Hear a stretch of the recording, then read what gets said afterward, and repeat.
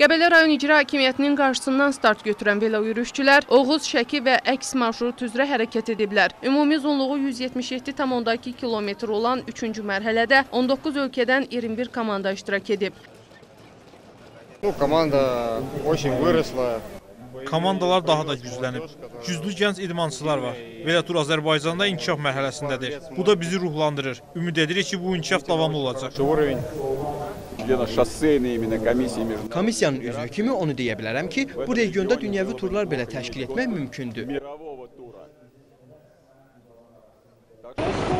Üçüncü mərhələsi Qəbələdə start götürmüş turda Azərbaycanın iştirakçıları artıq Şəkidədir.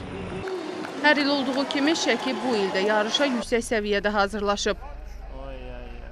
Artıq üçüncü ildir ki, biz bu yarışı Şəki şəhərində şövqlə qarşılayırıq. Gördüyünüz kimi Şəki şəhərinin əhalisi, gən, əsasən gənclər əllərində milli bayraqlarımız e, bu yarışın e, Şəki şəhərindən keçilməsini gözləyir səbirsizliklə. Sakinlər bu cür beynəlxalq turnirlərdə regionların da yer almasını böyük sevinclə qarşılayıblar. Velatur marşrutunun Şəkiyə salınmasından qürur hissi keçirdiklərini dilə gətiriblər. Əla, yaxşı. Həmişə yaxşı işlər olsun. O günlər olsun Qarabağımızda belə yürüyüş eləyək. Velo yürüşçülər Şəkiyə daxil olaraq mərkəzi küçələrdən keçiblər. Daha sonra Oğuz şosesi ilə geri qayıdıblar. Velotur iştirakçıları müəyyən olunmuş istiqamət üzrə hərəkətlərini davam etdirir və artıq Şəki səfərini başa vurmaq üzrədirlər. Bu mərhələ Qəbələdə yekunlaşacaq.